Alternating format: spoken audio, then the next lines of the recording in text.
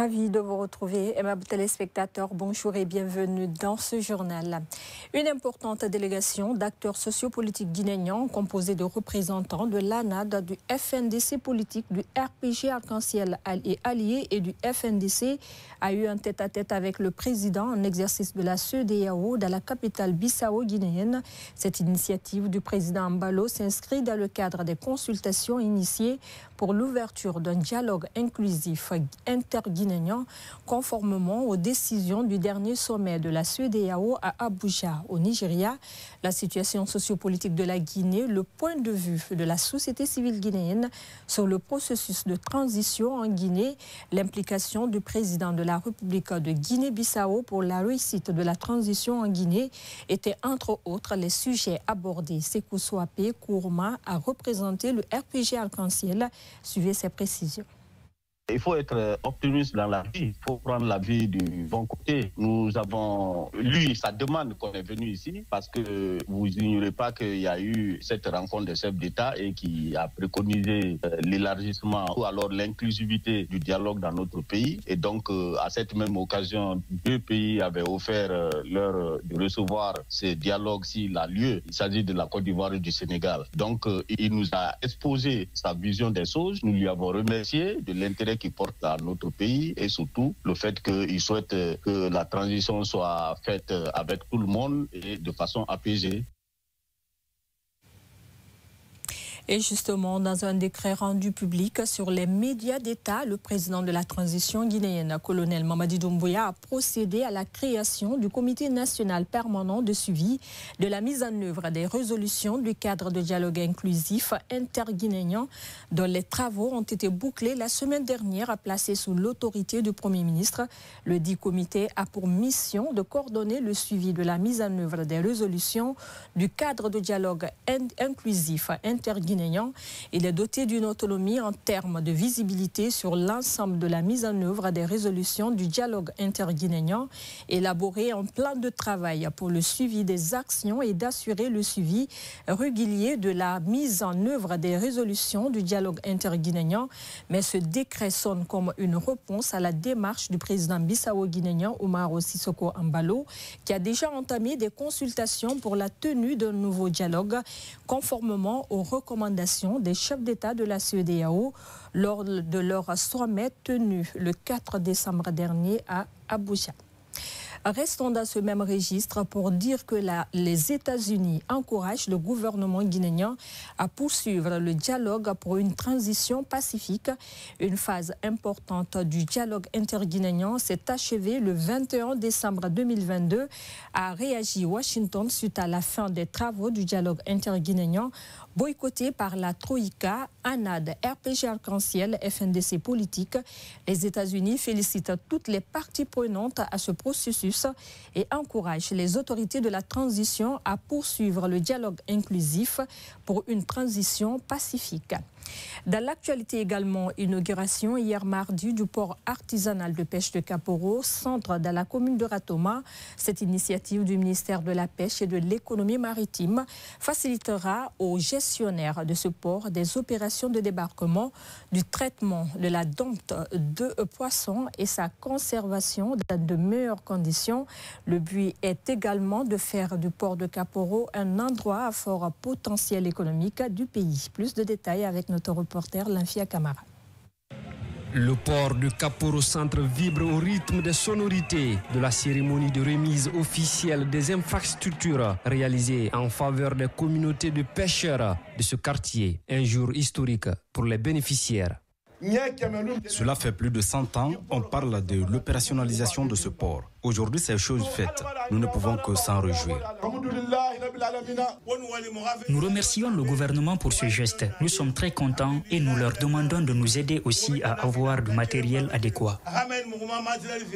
Financé par le gouvernement japonais à hauteur de 100 milliards de francs guinéens, cette infrastructure répond aux perspectives d'amélioration des conditions de vie et de travail des pêcheurs de la localité de Kaporo.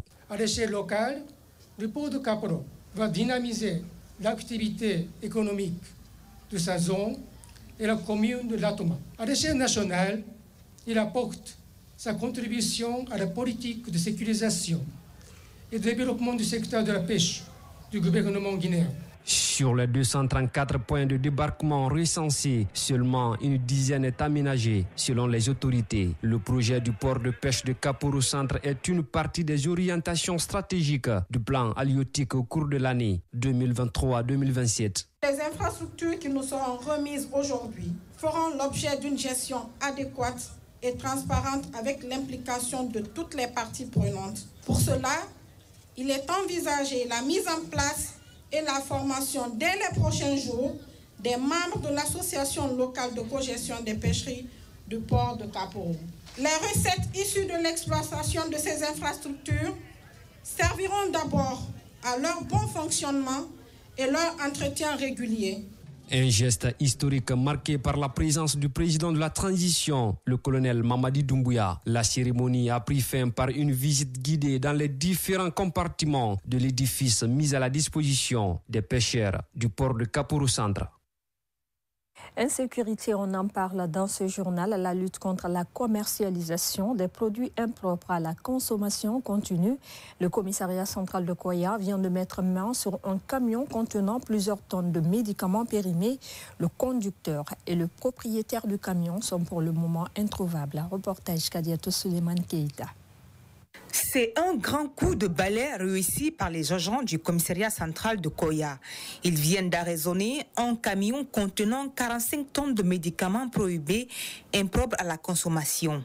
Comment ce coup de filet a-t-il été réussi? Le commissaire central de Koya, Abdourahim Souari, explique les circonstances de cette saisie. C'est à travers le service de renseignement de la police, c'est-à-dire au niveau du commissariat central qu'on a eu des informations. Le service est parti voir un camion Renault 22 roues contient 45 tonnes de produits pharmaceutiques prohibés. Bon, pour le moment, l'enquête continue. On n'a pas trouvé le propriétaire du camion ni celui qui conduit le camion. Le camion quitte Conakry pour l'intérieur. Interrogé, le directeur central de la sécurité publique, commissaire Lancé Camara, a déclaré à la presse que ce coup de filet s'inscrit en droite ligne de l'opération de grande envergure déclenchée depuis quelque temps par les autorités de la transition contre les faux médicaments en Guinée. Il n'a pas manqué de donner des conseils aux populations. Monsieur le directeur général a instruit tous les services de police de veiller à l'application stricte de la réquisition donnée par Monsieur le procureur de la CRIEF pour la saisie automatique de ces produits. éviter d'acheter des produits pharmaceutiques dans les marchés et aller dans les pharmacies officiellement agréées pour acheter vos produits pharmaceutiques. ces produits sont manipulés par de non-professionnels et c'est un danger permanent pour la population. Selon le directeur préfectoral de la santé de Koya, ces produits saisis sont très dangereux pour la population, dont certains seront périmés dans trois mois. Toutefois, il invite les autorités à trouver suffisamment de produits de qualité pour que les citoyens abandonnent ceux du marché parallèle. L'autorité de régulation des marchés publics vient de lancer trois jours d'ateliers de formation des corps de contrôle et des membres du conseil de régulation de l'ARMP. Ces journées sont axées sur le règlement des différents non juridictionnels dans le domaine des marchés publics en Guinée. Pour cette première journée, les participants ont été initiés aux techniques de vérification de la conformité des procédures et de malversations diverses dans le domaine des marchés publics. Le point avec le Sénécondé. La présente session de formation initiée par l'autorité de régulation des marchés publics entre dans le cadre de la stratégie globale de renforcement de capacité des acteurs de la commande publique, un cadre d'échange qui a réuni toutes les parties prenantes afin de s'imprégner de la bonne gestion des choses publiques. L'objectif, c'est de réunir toutes les structures de l'État, les juridictions, les corps de contrôle qui interviennent un peu dans euh, les contentieux liés à, la passation des marchés pour les expliquer quel est le rôle de notre structure, qui est la structure qui est dédiée aux contentieux et au recours des marchés publics.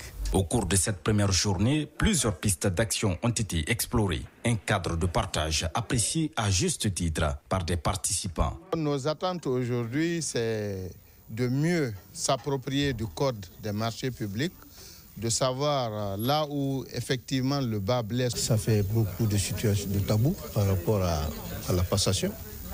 Donc c'est déjà une très bonne chose parce que nous d'ailleurs à notre niveau, nous connaissons beaucoup de contentieux par rapport à ces, ces genres de, de dossiers. Expert en marché public, Mathieu Nyoleba, en sa qualité de formateur, décline les modules sur lesquels est axée cette formation. Ce sont les modules relatifs aux techniques de contrôle et de détection de la fraude, de la corruption et des malversations dans les marchés publics. Parce que nous avons affaire à, aux corps et aux institutions de contrôle, y compris des membres du conseil de régulation. Il est important de leur faire comprendre que euh, l'argent public n'est pas un bien vacant et sans maître.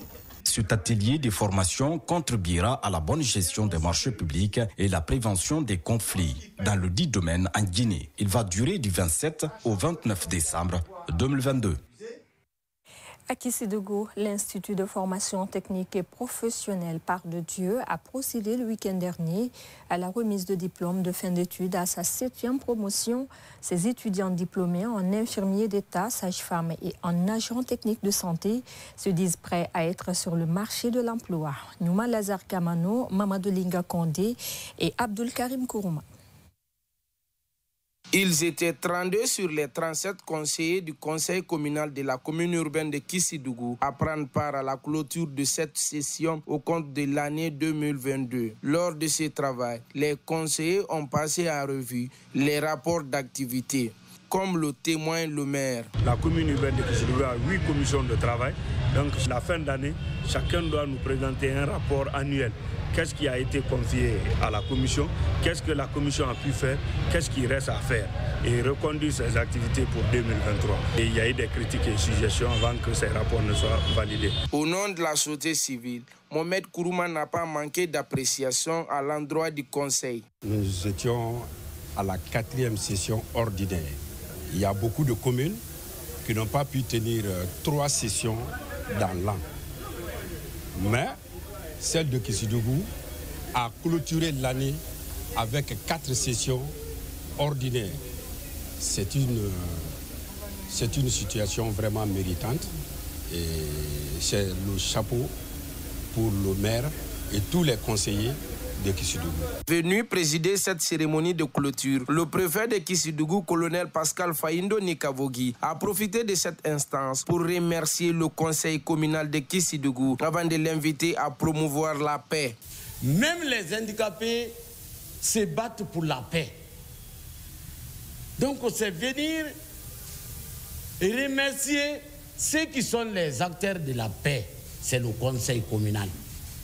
Et les dire de tirer les leçons. Parce que quel que soit le travail, il y a des manquements, il y a des erreurs.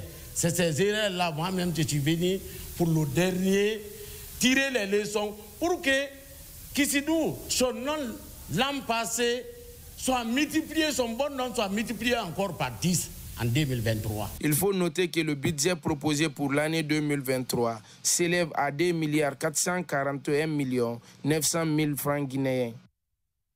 Vous l'auriez compris, c'était plutôt le reportage de la tenue de la quatrième session communale de Kissidougou. Parlons à présent du train Conakry Express, cette locomotive qui facilite le déplacement des Guinéens et réduit les files d'attente au niveau des carrefours, mais surtout les difficultés que rencontrent les usagers pour avoir une place dans un taxi et à un coût élevé par tronçon. Ce train Conakry Express devient une convoitise pour nos concitoyens pour leur mobilité. Si pour se rendre à la presqu'île de Kaloum à temps et à l'heure est un parcours de combattants par la voie routière, sur le train, c'est tout à fait le contraire. Plusieurs passagers de Koya, du Breka et environ empruntent la voie ferroviaire pour une question de rapidité et sécuritaire. Immersion dans le train Conakry Express dans ce reportage grand format signé Alcine Aïsoma. Il faut se lever tôt pour être premier dans le train. Il est 6 heures à Simbaya Gare. L'équipage du train Conakry Express est déjà prêt. Le chef de la locomotive met l'engin en marche, direction Kagbele pour l'embarquement des premiers passagers. Mais avant d'y arriver, il nous explique le fonctionnement de cette partie qui constitue d'ailleurs le cœur du train, dit-il. Avant le départ, le contrôle, fonctionnement de tous les organes qui rentrent dans le bon fonctionnement du train. Il faudrait qu'on s'assure que nous avons le frein et que nous, avons les 600 capas dans toutes les locomotives à partir de la locomotive. Avec un cran de 16, l'équivalent de 100 km par heure, nous arrivons à la gare de Kagbele à moins d'un quart d'heure. Un nombre important de personnes attendent ce moins de déplacement avec impatience et s'embarquer relève d'un parcours de combattants.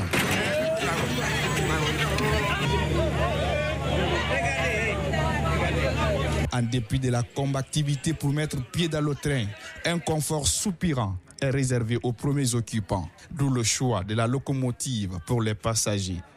Compte tenu de la distance, je suis à Kagbele. De en ville, c'est un peu distant.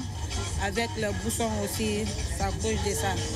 Eux encore, le transport, c'est moins cher par rapport à la voiture aussi. Euh, le temps n'est pas respecté. Ça, je, je, tiens beaucoup à le souligner. Des fois, on prend le départ de 7 heures, mais des fois aussi, le train retarde beaucoup. Donc, c'est un facteur à revoir. Et au niveau du confort aussi, c'est quelque chose à revoir. Dans la débandade de l'embarquement, le service maintient d'ordre veille au grain, à la sécurité des personnes et leurs biens. On travaille ensemble. Donc s'il y a un problème, il dit bon, autorité, venez, on gère. Si eux ne peuvent pas gérer, on prend l'intéressé, on descend à la base. Au-delà de transport, Conakry Express emploie également une trentaine de jeunes, de toutes catégories confondues. C'est le cas de cette jeune dame, vendeuse de billets dans le train. Les tickets, bon, les prix, ça commence d'abord par les billets de 500 jusqu'à 4500. Je peux vendre au moins jusqu'à 1 million, 1 million 100, 1 million 150. À la cabine technique règne un silence de cimetière. Mohamed a sur son dos la vie de près de 3000 passagers. Une charge qui pèse lourdement sur sa conscience, ce qui l'oblige à un maximum de sérénité pour accomplir cette mission. Il travaille 16 heures par jour. Derrière ce volant, c'est une lourde responsabilité. Nous travaillons de façon très difficile. C'est avec euh, une grande prudence que nous conduisons. À la direction nationale des chemins de fer, les responsables parlent de nouvelles réformes engagées et annoncent d'autres perspectives pour satisfaire le besoin de la clientèle et employés. Depuis notre arrivée, nous nous efforçons à faire et du service Conakry Express un service continu. Au cours de l'année, les rares perturbations que nous avons eues ont été à cause des ordures. Mais là aussi, des mesures ont été prises pour que le service puisse continuer. Notre euh, objectif pour 2023, c'est de poursuivre euh, les études de faisabilité pour la reconstruction de la ligne Conakry-Kouria pour disposer de notre propre chemin de fer. L'autre perspective aussi, c'est d'améliorer les, les, installations du train Conakry Express. Résister ou périr devient le quotidien des travailleurs. Des difficultés, il ne manque pas. L'occupation anarchique des rails, l'incivisme de certains citoyens et l'insuffisance des voies ferrées ralentissent leur activité. C'était un reportage grand format signé Alcine Aïsouma. Après avoir signé le contrat de performance avec les trois directions préfectorales de l'éducation de Mamou, l'inspecteur régional de l'éducation a procédé lundi au lancement des journées d'animation pédagogique en faveur des enseignants du secondaire public et privé de sa juridiction. Cette cérémonie s'est déroulée à l'école primaire Elage Boubacar Biro Diallo de la ville Carrefour en présence du représentant du ministère de l'enseignement préuniversitaire et de l'alphabétisation, compte rendu Seydou Kourouma et Maki Diallo.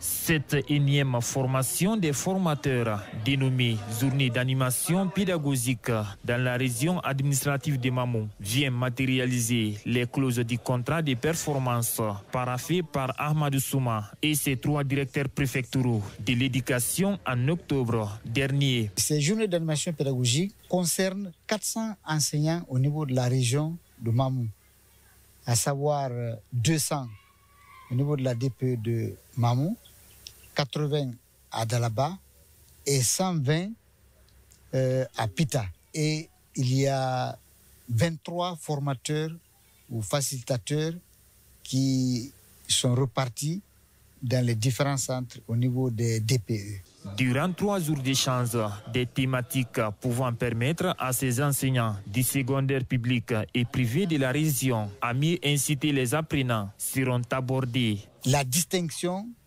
des différents savoirs, le savoir savant, le savoir à enseigner et le savoir enseigner. La transposition entre ces savoirs. En même temps, ils vont voir les méthodes et les techniques d'élaboration des leçons qui permettront aux élèves d'être actifs en classe. Venu représenter le MEPIA à la cérémonie, le conseiller chargé de la législation scolaire a de son côté loué les efforts des autorités éducatives de Mamou. Nous sommes ravis de constater qu'ici, à Mamou, dans la région de Mamou, les contrats de performance, les clauses de contrats de performance sont en train d'être appliquées à la lettre sur le terrain. Donc nous nous en félicitons, nous les remercions, nous les encourageons de Monsieur le ministre. Par cette série de formations des formateurs, le ministère de l'enseignement préuniversitaire et de l'alphabétisation entend rectifier le tir quant au taux d'échec enregistré aux différents examens nationaux l'année dernière. Vous le savez, nous sommes dans la ferveur à des fêtes de fin d'année. Il n'y a pas assez d'affluence dans la plupart des ateliers de couture et les boutiques de prêt-à-porter dans la cité orifère de Siguiri. Dans cette partie de la Guinée, les vendeurs se plaignent de la rareté. Maria Matalanta Diallo et Marie Kumba.